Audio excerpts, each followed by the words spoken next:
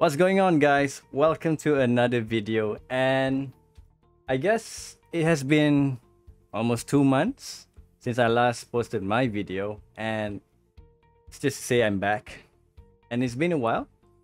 So I've seen a lot of comments, emails uh, on your questions or certainties. So I'll be getting back to you on that. So for today's video is to actually address to one of the email that I received. Uh, basically, it's asking on how can we change the date format from month, day, year to day, month, and year. So, let's go. Alright, so in AppSheet, whenever we see our date, to some of you perhaps, uh, in fact, a majority of people that I know their date starts with the month, day, and year.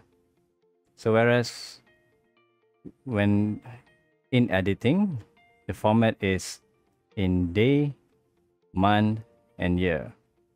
So that is actually a bit frustrating to some of you. But now there is a, a way for us to actually force another display to show day, month, and year.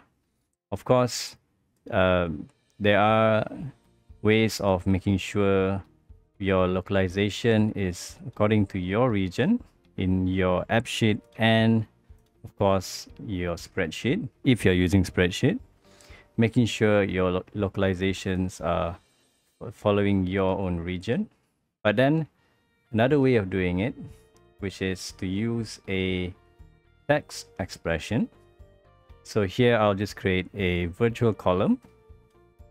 And let's try DDMMYY, stands for day, month, and year. And the expression that I'm be using today is text, the column of the date, and force it to day, month, and year.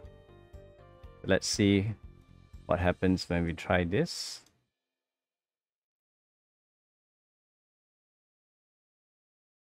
So what it does is from month, day, and year, it will force it to become day, month, and year.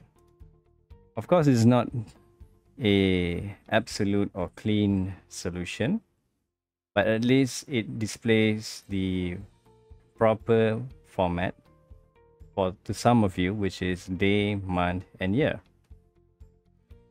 So i hope you enjoyed the video.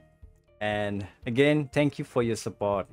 It's already been we have already hit our 4000 subscribers and this is all because of you. And to all of you you have my thanks. So until the next one i'll see you guys very soon. Take care. Bye bye